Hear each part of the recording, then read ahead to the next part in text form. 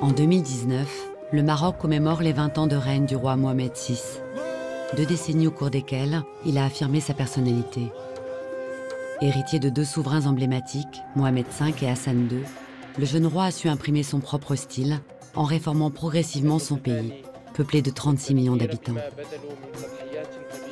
Le Maroc n'est pas encore une démocratie véritable. Le Maroc est dans la voie de la démocratie. Qui gouverne bah, Évidemment que le roi, il gouverne. Évidemment. C'est pas le roi, le roi d'Espagne, c'est pas le roi de la Grande-Bretagne. Le roi oriente les grandes décisions du pays. Une décision royale, c'est une feuille de route. Mohamed VI est à la tête d'un pays dans lequel les inégalités sociales et identitaires sont fortes. Si le monarque manifeste une volonté de réformer, il doit néanmoins composer avec des forces contradictoires, issues de la tradition et du droit coutumier.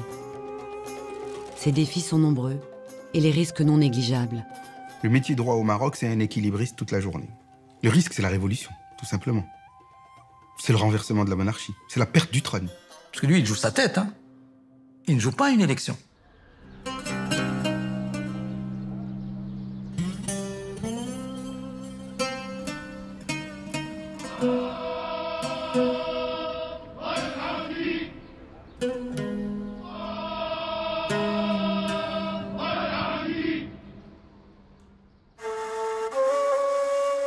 Mohamed VI est le 23e souverain de la dynastie alaouite, installé au Maroc depuis le XVIIe siècle.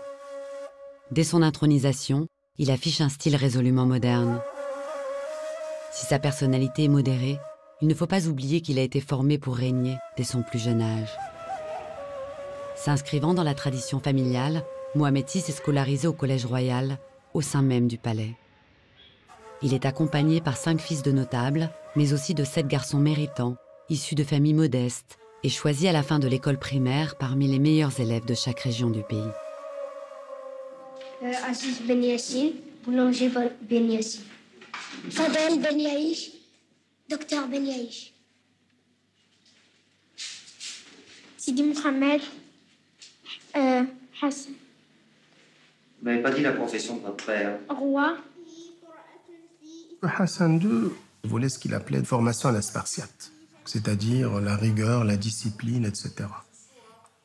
Donc on était dans un cadre un peu pratiquement, donc, euh, j'allais presque dire jésuite. Réveil à 6 heures du matin, euh, prière, euh, on commençait à prendre le Coran.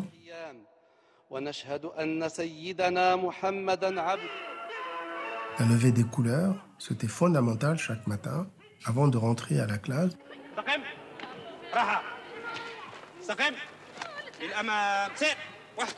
C'est une expérience unique, incontestablement. Elle est unique dans la mesure où on côtoie celui qui aura la charge.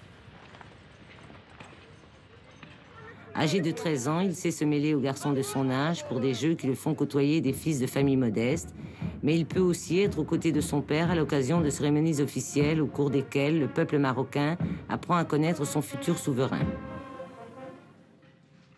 Majesté, est-ce que vous êtes un père sévère pour vos enfants? Il le faut bien parce que très peu de personnes le sont pour eux et j'estime que la sévérité du père remplace toutes les autres. J'ai été élevé comme ça et je compte les élever comme j'ai été élevé moi-même.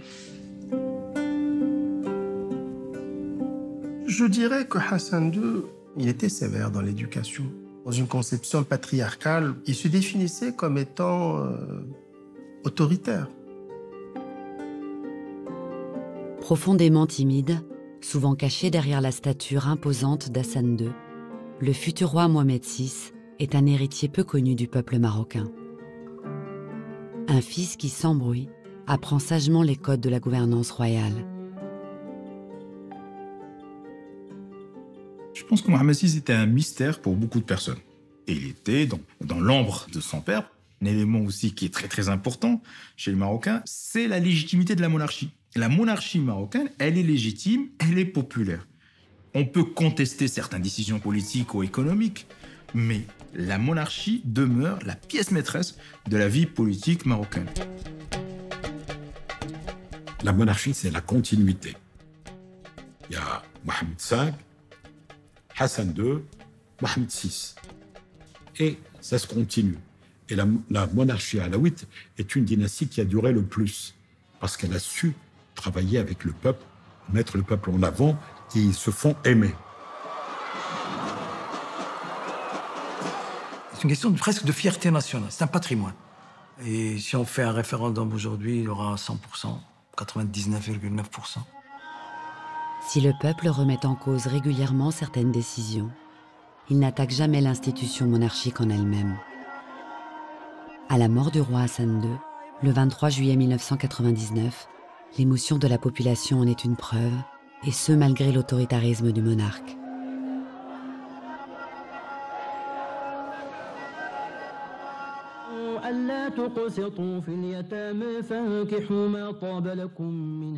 Ça a commencé par, à la radio et à la télévision, il y avait des versets du Coran.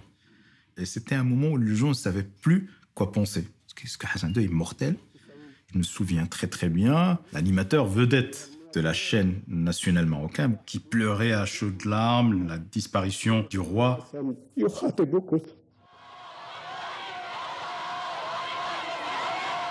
Ces funérailles sont l'occasion de grandes manifestations de ferveur populaire et de soutien à la monarchie. On s'en souvient tous, en tout cas ma génération et, et la génération de nos aînés, parce que euh, nous, nous sommes nés avec le roi Hassan II, nous avons grandi euh, avec le roi Hassan II, qui était euh, un roi avec une très forte personnalité, un roi qui a traversé une période très difficile et, et très importante dans le développement de ce pays. Donc vraiment un roi qui a beaucoup marqué. On voyait les grands de ce monde. Par exemple, le président américain, Clinton, à l'époque. On voyait Jacques Chirac. On voyait des présidents, enfin du monde entier, des rois qui sont là, qui sont alignés derrière le cercueil de Hassan II. Il y avait une sorte de fierté pendant ce moment-là. C'est-à-dire que les gens, ils disent, voilà, ça devait être un grand roi.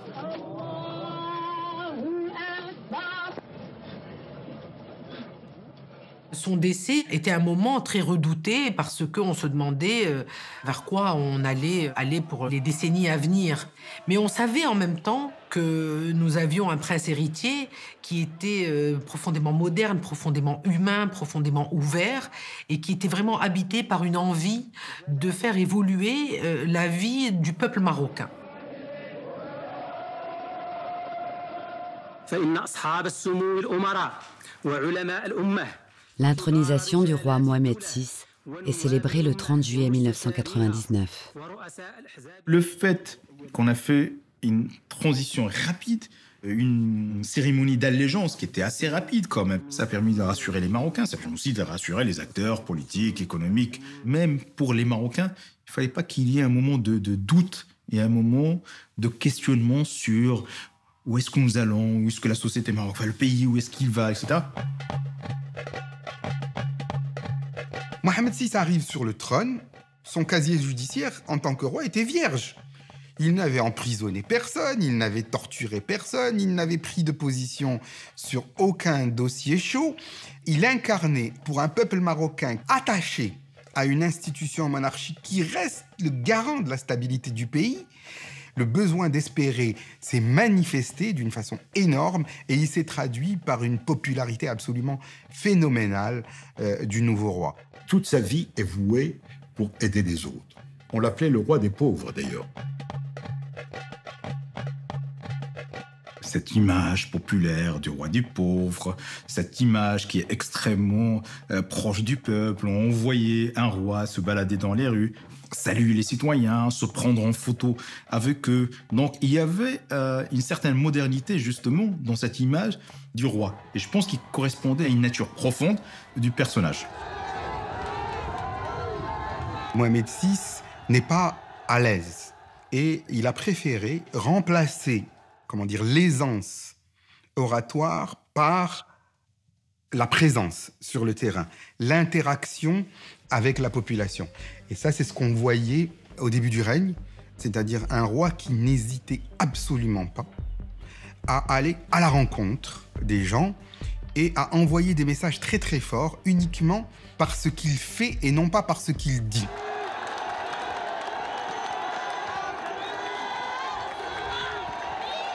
c'était une réconciliation avec le pays, avec tout le Maroc. Pas seulement le, Maroc d'en haut, mais le Maroc d'en bas, mais de, très très bas, quoi. Et on voyait une certaine sincérité qui se dégageait de sa personne. Donc ça ne peut susciter que, que de l'espoir. Tout ça peut paraître anodin, anecdotique, on n'est pas dans la grande politique, on n'est pas dans des grandes orientations, mais en même temps, ça te crée un style, ça te crée une manière de gouverner, une manière d'incarner euh, la monarchie, une monarchie qui, voilà, qui colle avec, avec son temps. Même dans sa vie privée, le roi surprend. Pour la première fois dans l'histoire du Maroc, un monarque présente son épouse à ses sujets. Une révolution dans les mœurs du sérail.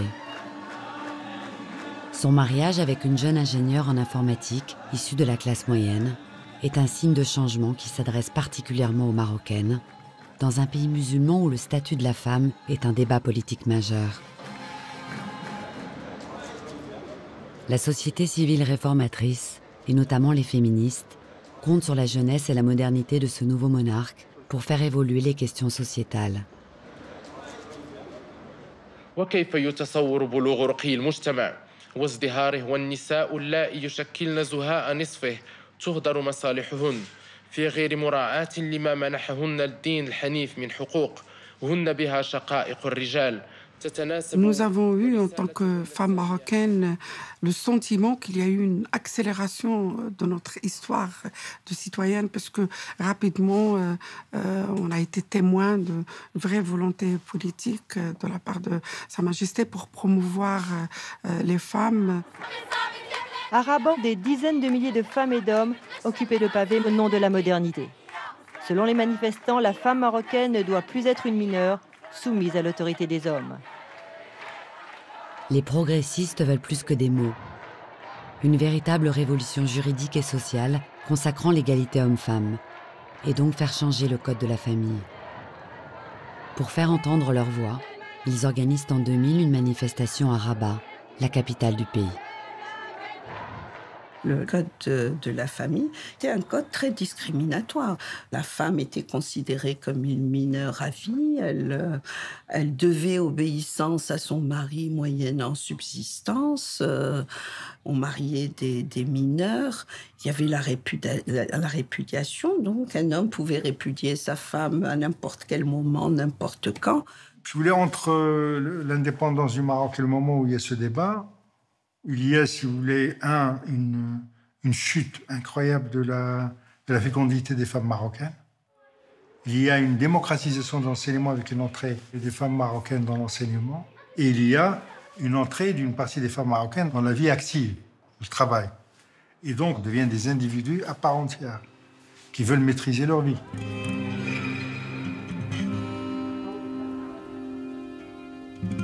On a vu dans la rue des hommes et des femmes, des personnes âgées et des jeunes. Pour moi, c'était un message extrêmement important parce que jusqu'alors, on avait considéré que c'était une préoccupation de cénacle féminin ou de féministes branchés sur la place occidentale.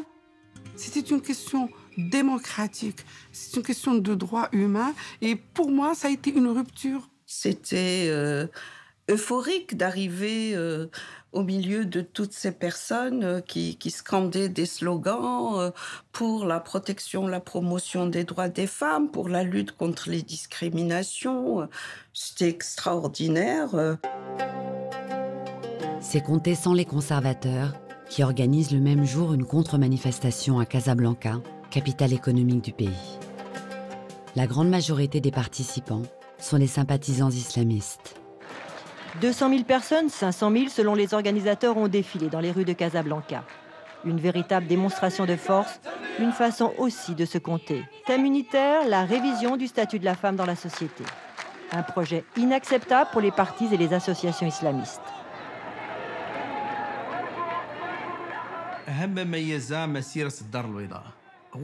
Ce qui était le plus important lors de la marche de Casablanca, c'était son organisation. Les hommes étaient d'un côté et les femmes de l'autre. Les revendications étaient claires. Non à la modification du code de la famille, non aux expériences occidentales, et à leurs applications dans la société marocaine. Dès lors, le monarque est confronté à un dilemme, car s'il est progressiste sur les questions sociétales, la société, elle, est encore très conservatrice. Commandeur des croyants, il garantit la liberté et la pratique de toutes les religions. Mais sa qualité de descendant du prophète le place dans une situation très complexe.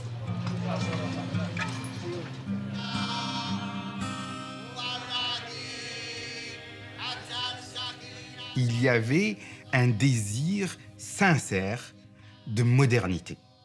Mais il était aussi clair qu'il a une fonction qui est celle de commandeur des croyants, c'est-à-dire qu'il est aussi un chef religieux et un chef spirituel.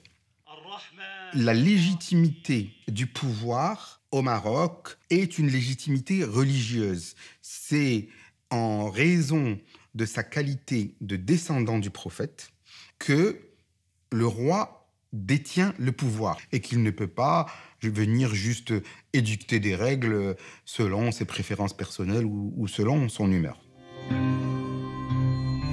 Si le roi se démarque par un style nouveau, résolument ancré dans le progrès, il doit toutefois composer avec une population marocaine très attachée à la continuité de la monarchie. C'est ainsi que dès les premières années du règne de Mohamed VI, le peuple se sent rassuré par la naissance du prince héritier, Moulay el-Hassan.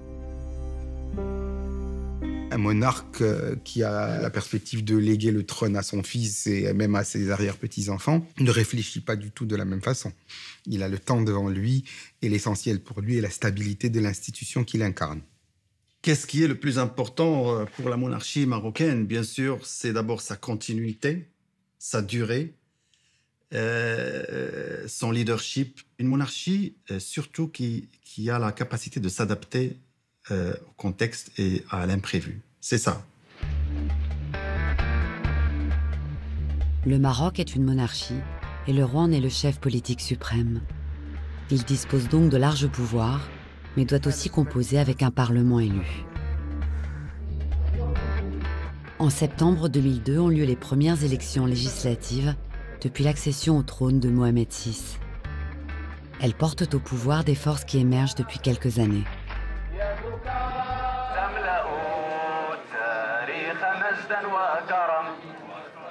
Depuis la fin des années 90, on assiste en effet au Maroc et dans la région à une montée de l'islam politique. Dans le royaume chérifien, le parti islamiste de la justice et du développement joue la carte de la religion, se présente comme une véritable alternative aux problèmes sociaux et s'érige en chantre de la probité. Grâce à ses promesses, il fait une véritable percée lors de ces élections et se classe au troisième rang des partis politiques marocains.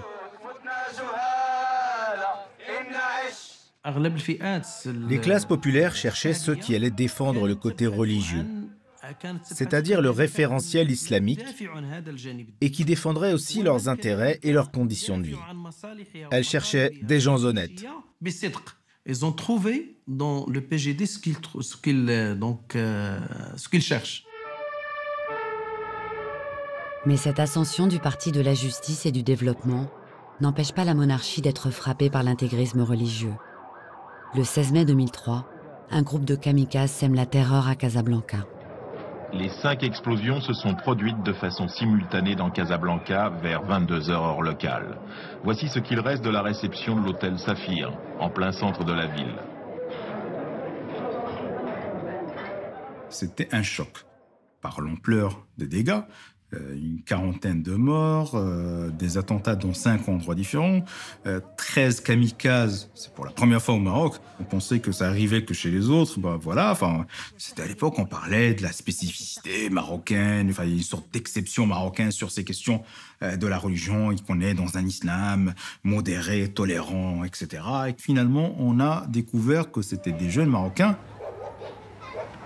C'était des laissés pour compte ils ont été endoctrinés. En fin de compte, le terrorisme, c'est la combinaison de plusieurs facteurs. L'élément social et économique n'est qu'un élément. Bon, bien sûr, il y a le discours, l'élément, etc., et le contexte. Mais ils ont été travaillés par un discours, et finalement, le discours peut tuer, peut mener à la mort. L'une des raisons principales pour laquelle le Maroc est devenu une cible, c'est l'engagement du pays aux côtés de l'Occident dans la lutte contre le terrorisme. Depuis les attentats du 11 septembre 2001, Mohamed VI a une ambition, faire de son pays le rempart contre l'islamisme radical au Maghreb. Dans son dernier message audio, Oussama Ben Laden, menaçant les intérêts américains et occidentaux dans le monde arabe, qualifiait le Maroc de pays apostat, autrement dit de pays non islamique, parce que jugé trop tolérant.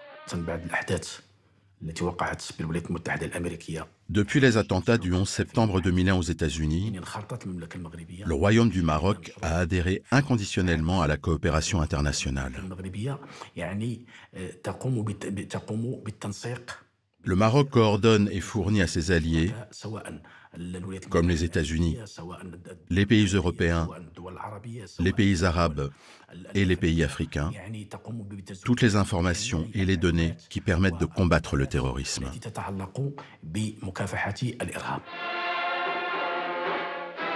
Le roi réagit avec fermeté dans un discours adressé à la nation et se montre implacable envers cette idéologie destructrice qui menace sa population et son pays.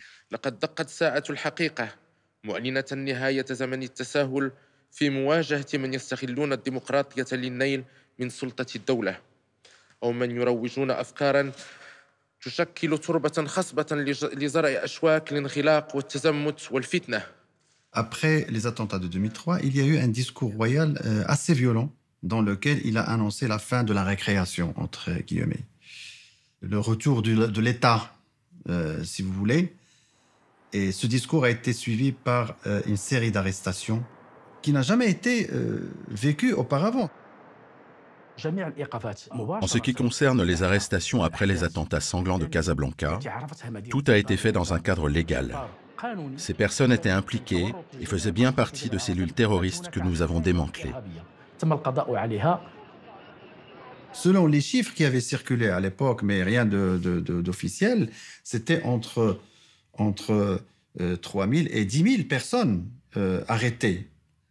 Beaucoup n'avaient rien fait, n'avaient aucun lien, aucun lien avec ces attentats. Donc il n'y avait pas simplement un objectif d'affaiblir l'islamisme, il y avait aussi un autre objectif euh, politique, c'est-à-dire rétablir l'autorité de l'État. Le roi se retrouve alors en position de force pour faire passer des lois qui lui tiennent à cœur. Il choisit en premier lieu de réformer le code de la famille. Mais malgré cette situation favorable, sa volonté se heurte à des forces multiséculaires. Les conservateurs au sein de la société marocaine étaient hostiles à tout changement qui va toucher la moudawana, c'est-à-dire le code, la loi qui régit le mariage, la succession, le divorce, etc., tout ce qui est statut personnel.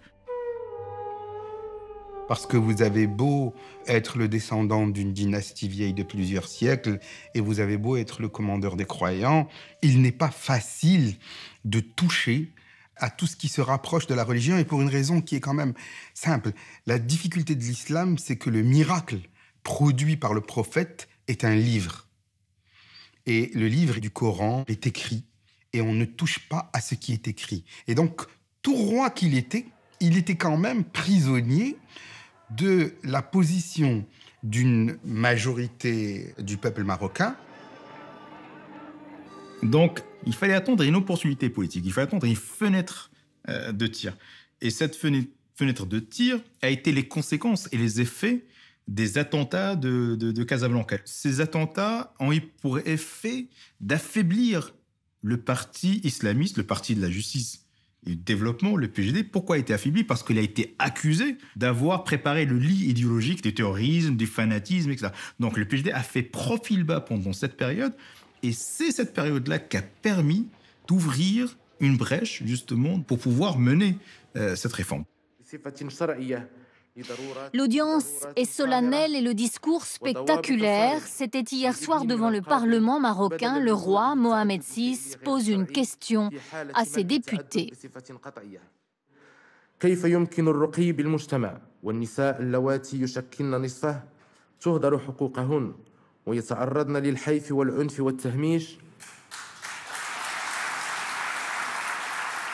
ça reprenait en grande partie euh, nos revendications et nos propositions. Comment je dirais, une vague d'espoir extraordinaire qui faisait que dans la réforme, on plaçait l'âge du mariage à 18 ans, le divorce devenait euh, judiciaire. Oh, moi j'ai pleuré.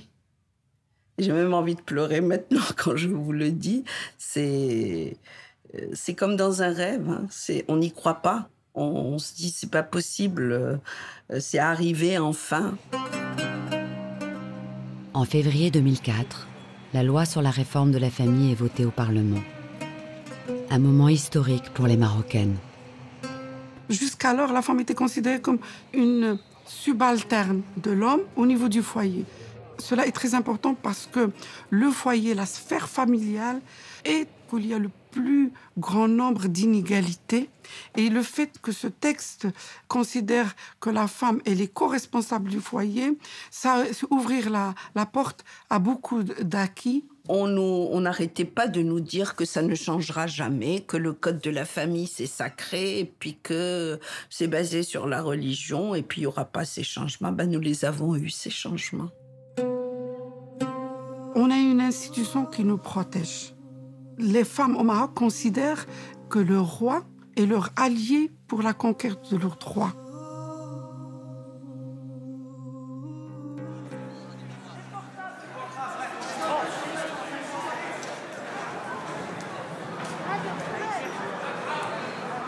Ce qui restera également une des grandes avancées du règne de Mohamed VI, c'est l'instance appelée Équité et Réconciliation, créée en 2004 et destinée à panser les plaies du régime répressif de son père. C'était une façon extrêmement intelligente, sage, de toucher un tabou. C'est que, en fait, mon père, en tant que roi, a fait arrêter, a fait torturer et a emprisonné des dizaines, des centaines, des milliers d'opposants.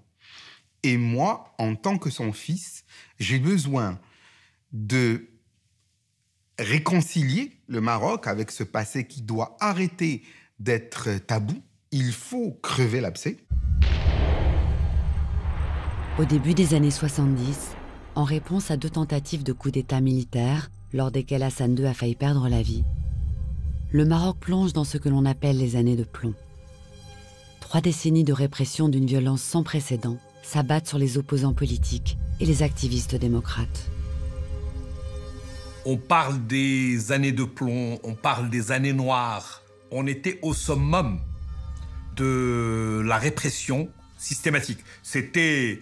euh, Hassan II ne faisait pas dans la, la dentelle à ce moment-là. Moi, j'ai été retenu euh, dans ce qu'on appelle des centres de disparition. C'est-à-dire, vous n'êtes pas dans une prison officielle. Vous êtes dans une prison, dans un lieu. Personne ne sait que vous êtes dans ce lieu. Vous n'avez ni contact familial, ni contact avec des avocats, ni charge retenue contre vous, ni procès, ni absolument rien. Et là, quand on était pris en train d'essayer de communiquer entre nous, euh, on payait le prix cher, euh, c'était de la torture énorme. Mais enlever comme ça des gens, en dehors de la loi, les amener dans un centre, comme ces centres de disparus, et puis les torturer, c'est quelque chose d'absolument... Et je pense que ça a pesé dans, dans ma vie. Pour les victimes d'Hassan II, cette instance équité et réconciliation est non seulement le symbole d'une reconnaissance de leur statut, mais aussi la possibilité d'obtenir une indemnisation, de libérer la parole et surtout de raconter au peuple marocain les souffrances passées pour ne jamais oublier.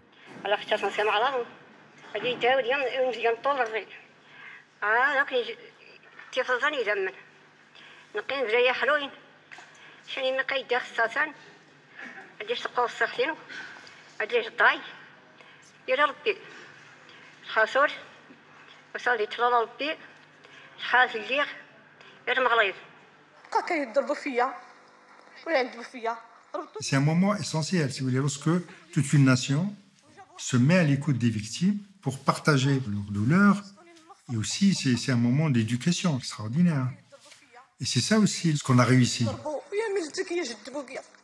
C'est inimaginable, un roi qui arrive au pouvoir et qui répare les erreurs de son père, qui fait, corrige les choses et qui veut que ce pays aille de l'avant.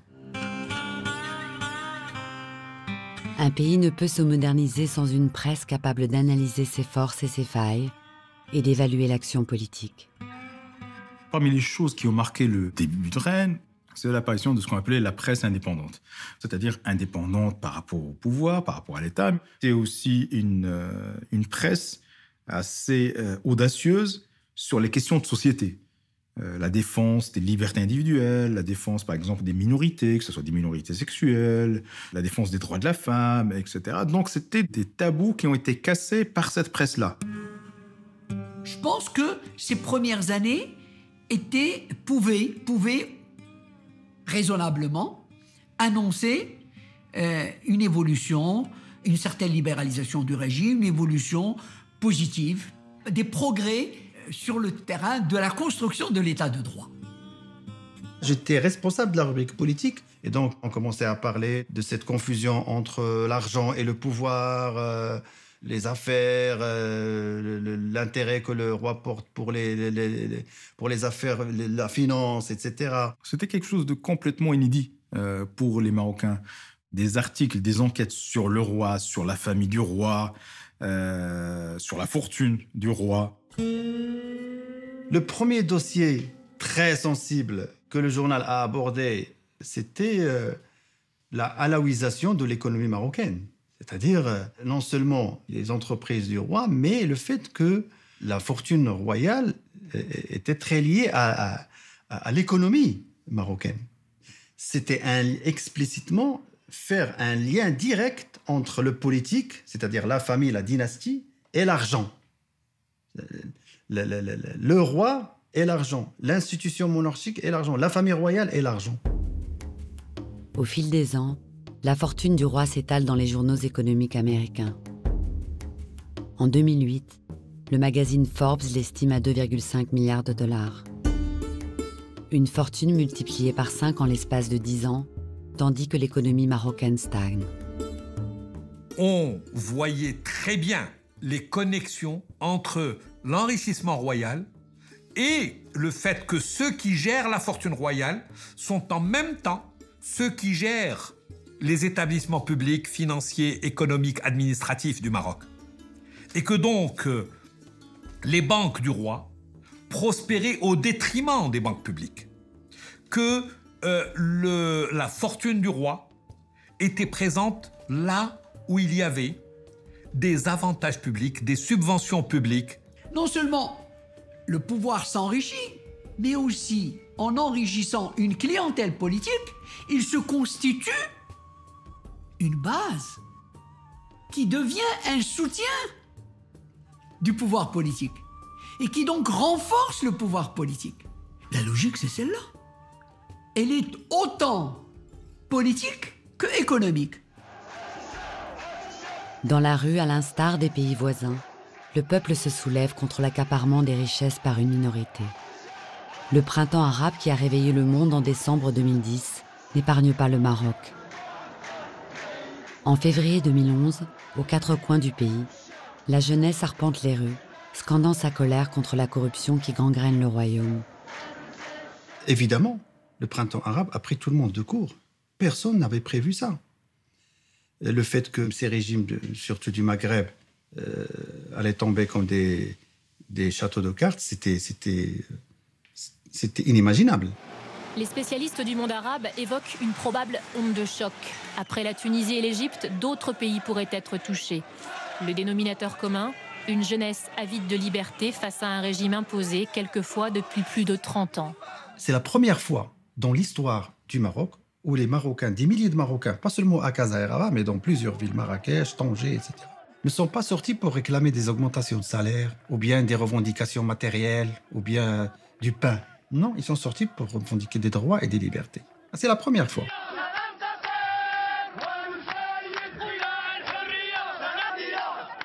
Évidemment, c'est un coup de tonnerre. Donc la population, qu'est-ce qu'elle revendiquait? Elle revendiquait tout simplement démocratie, démocratie, la fin de la corruption, la fin, la fin des conflits d'intérêts, des conflits d'intérêts, le mélange entre la politique et les affaires. Bah, la grande corruption qui nous a toujours fait mal jusqu'à présent, c'est la, corruption dans le monde politique, la corruption euh, euh, dans les marchés publics. Le coût de la corruption au Maroc, c'est presque le coût de ce que va nécessiter chaque année l'accès des Marocains à la couverture sociale généralisée. Donc euh, c'est dire à quel point c'est un fléau. Cette corruption endémique représenterait, selon le FMI et Transparency International, principale organisation de lutte contre la corruption, à minima 2,5 milliards de dollars par an. La demande n'était pas l'abolition de la monarchie, elle était de mettre un terme à ces pouvoirs absolutistes. L'absolutisme, c'est un terme politique qui signifie la concentration du pouvoir, de plusieurs pouvoirs, entre les mains d'une seule personne. C'est ça, c'est le pouvoir absolu. L'objectif n'était pas de s'attaquer au roi. Il y avait des revendications contre des conseillers hein, de Sa Majesté, contre des membres du gouvernement, contre des hommes d'affaires connus, célèbres, contre certaines personnes qui s'étaient enrichies. C'est ces personnes-là qui euh, s'étaient accaparées de ressources naturelles, qui avaient une position dominante dans une industrie ou une autre, etc., grâce à leur euh, à l'entre-gens. Donc, si vous voulez, euh, la population rejetait ce genre de pratique, ce qui est sain.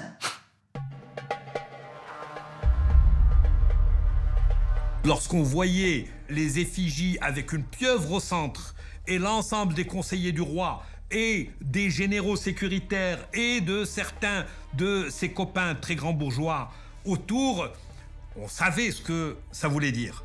L'accaparement de l'autorité et de la fortune, le mariage incestueux entre le pouvoir et la richesse. Il est temps d'arrêter, il est temps de devenir un pays normal, de devenir un peuple normal. À mon avis, si vous êtes dirigeant de quelque pays que ce soit, vous avez des gens qui sont dans la rue, eh ben le, plutôt ils rentreront chez eux, le mieux ce sera. Donc vous avez un impératif temps qui est évident. Un roi joue sa tête. Et c'est joue sa tête. On a eu des rois qui, qui étaient dégommés, tout simplement Dans l'histoire du pays, comme dans l'histoire d'autres monarchies, un roi ne joue pas, ne joue pas un petit jeu d'élection. Au palais, Mohamed VI sait qu'il doit canaliser la colère de son peuple et prend la parole le 9 mars 2011 dans un discours adressé à la nation. ترسيخ دولة الحق والمؤسسات وتوسيع مجال الحريات الفردية والجماعية وضمان ممارستها وتعزيز منظومة حقوق الإنسان بكل أبعادها السياسية والاقتصادية والاجتماعية والتنموية والثقافية والبيئية La réaction du pouvoir est plutôt lucide, je dirais, et intelligente. Le roi prend acte de, de l'ampleur de la contestation, de l'ampleur de, de, des problèmes, etc. Il promet un changement de la Constitution. Cette concentration extrême des pouvoirs entre les mains de la monarchie faisait partie des, des griefs euh, de la jeunesse du 20 février qui réclamait une véritable séparation des pouvoirs. Donc tout ça est promis par le roi dans le cadre d'un discours qui était historique. Il a tenu des promesses très importantes, révolutionnaires. C'est-à-dire qu'il a présenté les bases de manière explicite que la monarchie marocaine est une monarchie sociale, parlementaire, démocratique, etc. Voilà, un roi qui règne mais ne gouverne pas, un gouvernement responsable. Il a dit un gouvernement responsable qui rend compte de, de son action. Le pouvoir dit je vous ai compris. Je vous ai compris. Je vais faire les réformes fondamentales, nécessaires. Cinq mois après les manifestations populaires, le roi met au vote la nouvelle constitution marocaine, soutenue par un appui massif de la population. Cette constitution résolument plus moderniste que la précédente ouvre un spectre plus large sur les questions sociétales et politiques. La Constitution, dès son préambule, s'ouvre sur l'égalité homme-femme dans tous les droits, sur euh, la lutte contre les discriminations, toutes sortes de discriminations sur la race, la religion, le, le sexe aussi. Il y a la monarchie, mais il y a la souveraineté populaire. Le roi nomme comme chef de gouvernement le leader ou un membre du parti politique qui arrive en tête. Ça pose le principe de façon irrévocable que le roi est euh, contraint par le vote.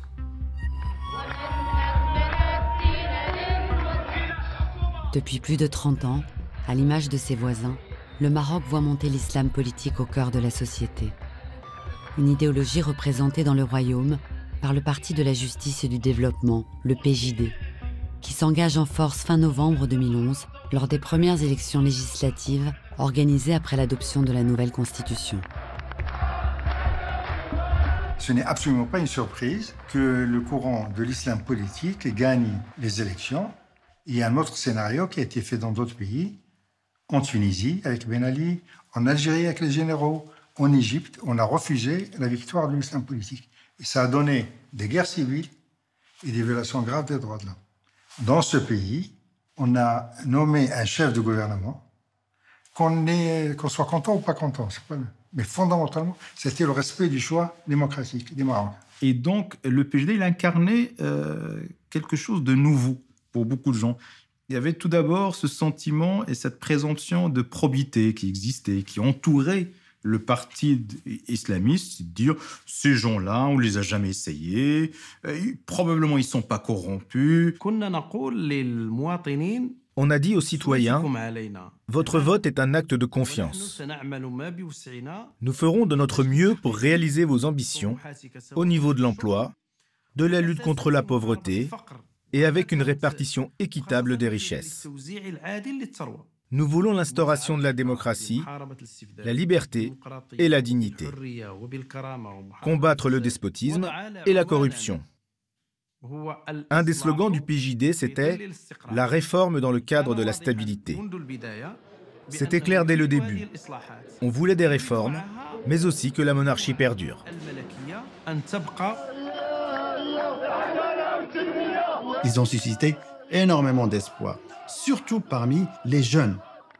Il ne faut pas oublier que ceux qui ont voté pour les islamistes, ce ne sont pas des profils euh, avec turban et djellaba et tout ça, non, non, des cadres euh, laïcs, euh, des, ingénieurs, des, des hommes d'affaires. En finalement réussissant à attirer à eux beaucoup de personnes qui avaient absolument besoin de croire au changement, dont moi qui ai voté pour eux, alors que je suis normalement situé beaucoup plus à gauche euh, dans mes convictions politiques. Mais à ce moment-là, il y avait un vrai besoin de croire en la possibilité d'un changement. N'importe quoi, sauf le passé.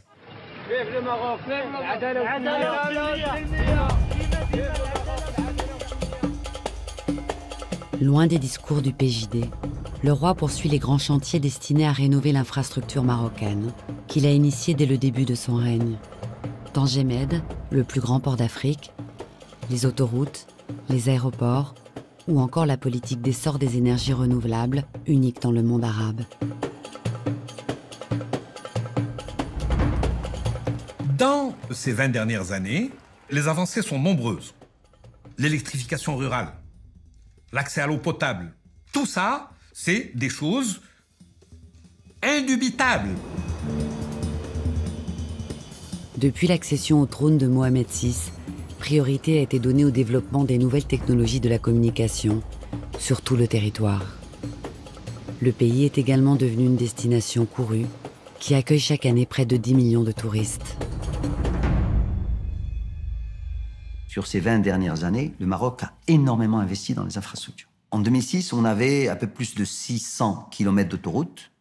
Aujourd'hui, nous avons plus de 1800 km d'autoroutes nous avons construit le TGV. On avait 5 ou 6 ports, on en a 40. Des aéroports. Évidemment qu'a priori, qui ne serait pas content? Qui ne se féliciterait? D'être dans un pays où aujourd'hui, un touriste qui atterrit au Maroc dans un aéroport flambant neuf, euh, des bâtiments magnifiques, qui, prend l'autoroute, qui va aller dans des centres-villes qui sont très bien entretenus, des grandes avenues, des corniches magnifiques. Ça, c'est la devanture. C'est la vitrine. Maintenant, les infrastructures, c'est bien, mais quand on regarde l'impact des de l'investissement en infrastructure sur la croissance du PIB, comparé à d'autres pays, cet impact-là est faible. On ne génère pas assez de croissance par de l'investissement en infrastructure. Et donc, il faut maintenant investir dans l'humain. Il faut investir dans l'éducation. Il faut investir dans l'innovation.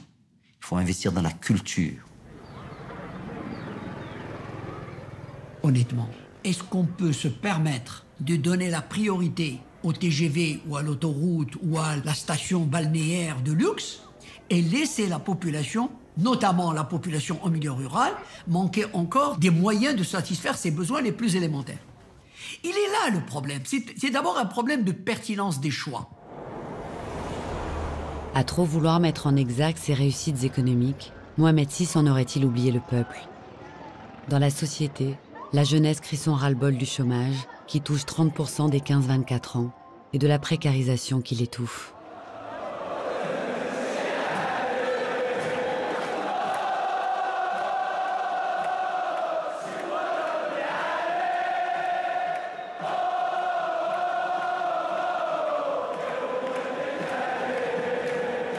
Le message que les supporters ont essayé d'envoyer est un message extrêmement puissant.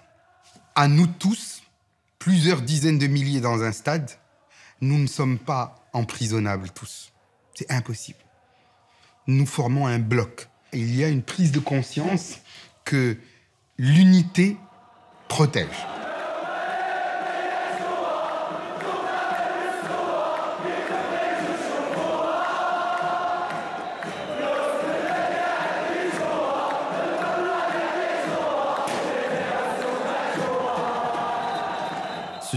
Contestation dans les stades est le reflet de l'absence de projection dans l'avenir. C'est très important. Cette absence de projection que je rencontre chez beaucoup de jeunes, ils me disent mais on ne sait pas de quoi est fait notre avenir. Sinon, euh, émigrer, sinon. Ça, c'est cette absence de la projection est un constat d'échec de toute une politique. Et ces jeunes-là, ils expriment ces disparités entre d'autres jeunes où tout est tracé dès la naissance. Le papa a tout préparé jusqu'à ce qu'il ait son travail, sa maison, etc. Tout est tracé comme une autoroute. Il est absolument impossible de faire taire la colère populaire. Elle est comme l'eau. Vous l'enfermez d'un côté, elle s'enfuit d'un autre. Il, il n'est pas possible de fermer les stades, de, couper tous les réseaux sociaux, d'emprisonner tous les manifestants. C'est impossible. Et la seule façon d'y mettre un terme, c'est de répondre aux aspirations de ceux qui expriment cette colère. Il n'y en a aucune autre. Et le PJD l'a bien compris. En surfant sur la vague du mécontentement général, il reste en effet le premier parti politique du Maroc à la faveur des élections du 7 octobre 2016. Pour la société civile réformatrice, cette deuxième victoire du parti islamiste est un coup d'arrêt à toute avancée sur les questions sociétales. Un coup dur pour la Constitution de 2011 qui prônait une évolution moderne. Et là, on tombe dans un gros paradoxe parce qu'on a une, constitution qui prône l'égalité homme-femme et pour la mettre en œuvre, on a un gouvernement conservateur. Il se passe rien, enfin, où il se passe très peu. C'est toujours empreint d'idéologie, ce qui fait qu'il y a beaucoup de retard, donc l'élaboration des projets de loi, le vote des projets de loi, etc. Il y a eu des élections et le peuple a élu un, un parti conservateur, qui n'est pas pour la liberté de conscience, qui n'est pas pour la liberté de culte, qui n'est pas pour l'égalité des femmes et des hommes, qui n'est pas pour la liberté de corps, qui n'est pas pour l'avortement. Mais comme souvent au royaume du Maroc, où l'absolutisme règne en maître, la vie n'est pas aussi simple que celle d'une démocratie parlementaire. Si la Constitution est encline à moderniser la loi de la cité, elle n'a jamais ôté le pouvoir absolu au monarque. La Constitution, elle ne vous dit pas qu'une fois vous gagnez les élections, vous allez, euh, vous allez exercer le pouvoir, vous allez... Non. Le, le rôle du gouvernement au Maroc, ce n'est pas d'appliquer un programme, même s'ils le disent, même s'ils l'annoncent. Le, le, le, rôle du gouvernement tel qu'il est fixé par la Constitution, c'est d'exécuter les décisions qui sont prises par le palais. La vraie séparation des pouvoirs n'a pas eu lieu dans la Constitution de 2011. Les revendications majeures, c'était effectivement d'évoluer vers une monarchie parlementaire, qui est le seul, je dirais, le seul moyen aujourd'hui que l'intelligence humaine a trouvées pour essayer de concilier apparemment des choses qui ne sont pas conciliables, c'est-à-dire entre la monarchie qui est par essence n'est pas démocratique et la démocratie. Celui qui détermine la politique générale de l'État, c'est le roi. C'est le roi lui-même. Et donc le, le gouvernement exécute les décisions du roi. Disons-le clairement, de par les textes de la Constitution, le roi garde l'essentiel des pouvoirs. Je suis pour la monarchie parlementaire, mais on n'est pas encore là. Certains ministères sont des ministères de régalia. C'est le roi qui décide. Heureusement, je le dis en toute honnêteté, parce que dans certains partis, il n'y a pas les compétences requises. Quand on ne trouve pas dans le vivier politique les femmes et les hommes compétents pour euh, gouverner, eh ben, il faut bien que quelqu'un les mette là. Ben, le roi les met. Alors, c'est une entorse à la démocratie, incontestablement.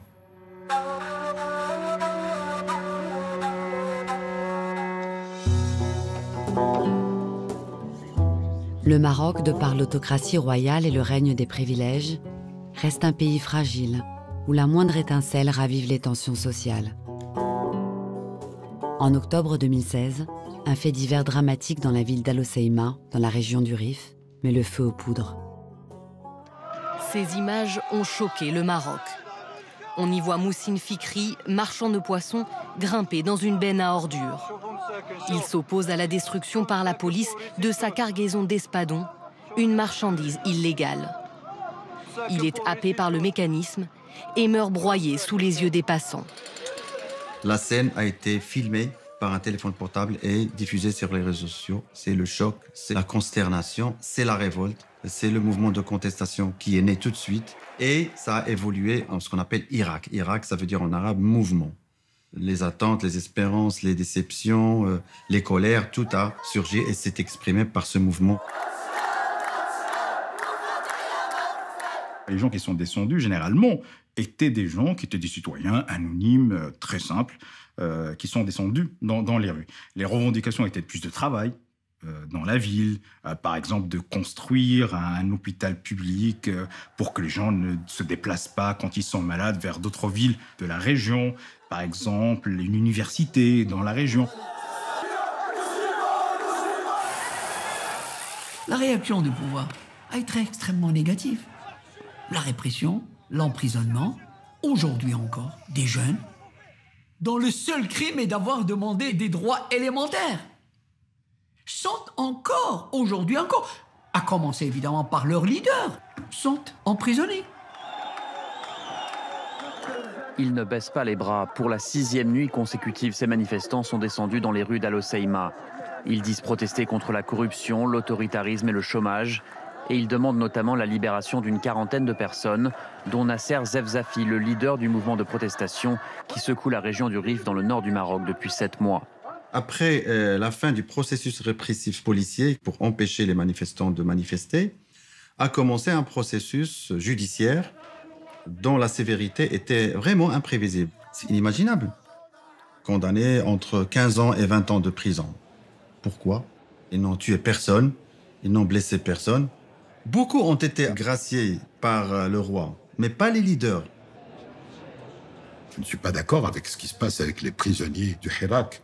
Malheureusement, je ne sais pas qui conseille le roi, qui prend des mesures anti-démocratiques, des mesures, je dirais, répressives, des mesures injustes. Parce que ça permettra aussi d'ouvrir une nouvelle page euh, et de fermer cette page je pense qu'a fait tant du mal aux Marocains, à l'image du Maroc. Le Maroc de Mohamed VI a fait des pas vers la démocratie impressionnants les dix premières années du règne du roi actuel.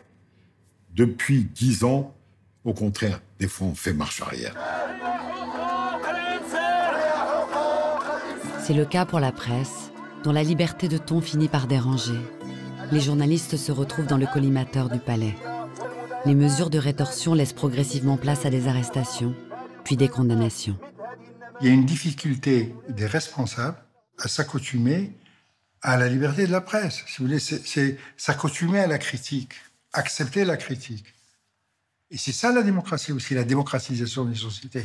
C'est d'accepter qu'il y ait des points de vue différents. On est encore dans, dans des visions plus, plus crispées, si vous voulez. Il faut que le Maroc change sur, au niveau des libertés publiques. Je le dis, je le demande avec beaucoup d'humilité, de respect, majesté, libérer ces hommes.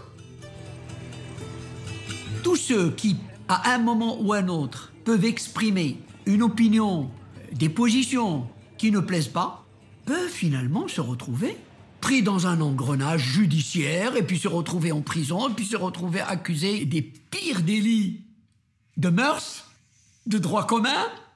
En les accusant, par exemple, d'agression sexuelle contre euh, des femmes ou bien de, de, viol pour certains, de manière à, à, ne, à, à ce qu'ils ne se présentent pas comme des victimes de leurs idées et de leurs opinions euh, politiques. L'essentiel de l'objectif, c'est de terroriser les dizaines et centaines de milliers d'autres personnes qui pourraient prendre le ton critique face au régime.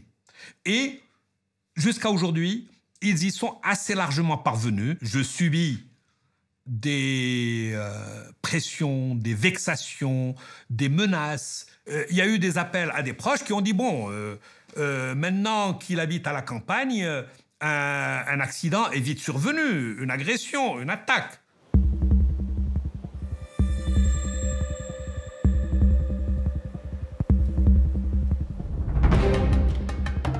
En septembre 2021, le peuple toujours étreint par les difficultés économiques est à nouveau appelé aux urnes. À la stupéfaction générale, le PJD, première force politique du pays, est laminé.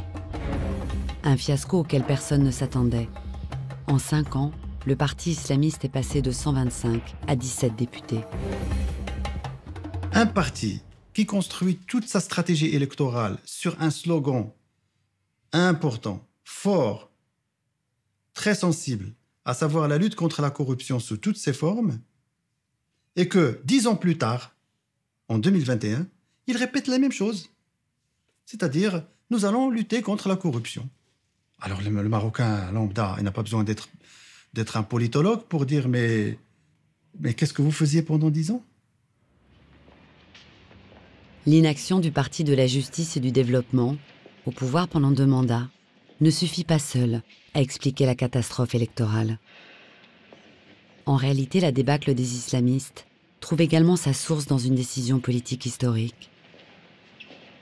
Dix mois plus tôt, le 22 décembre 2020, devant les caméras du monde entier, le Maroc, sous l'égide des États-Unis, signe un accord de normalisation des relations entre Israël et le royaume alawite.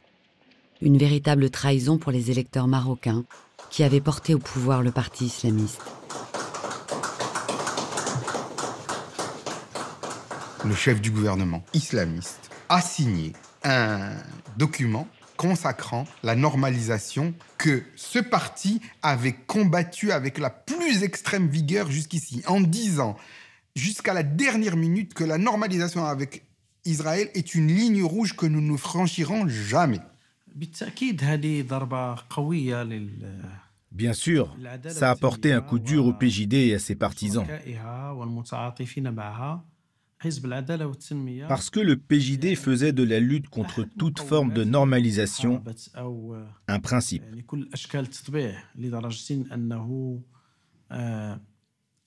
Il y a même des gens qui considèrent que la défense de la Palestine est l'un des piliers de l'islam. Aux yeux de la majorité des Marocains, la crédibilité des islamistes était absolument ruinée. Incompétents, incapables de gérer leur ministère, incapables de tenir leurs promesses, désespérément accrochés au pouvoir, ou plutôt aux miettes du pouvoir, au prix même de sacrifier la totalité de leurs euh, convictions. Bref, pas crédible, pathétique.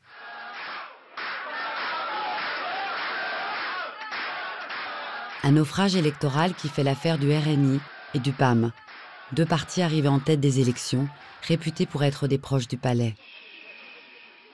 Il y a une sorte d'euphorie qui veut que l'important c'est que on a tourné la page du PJD et que le reste, ben, on verra bien.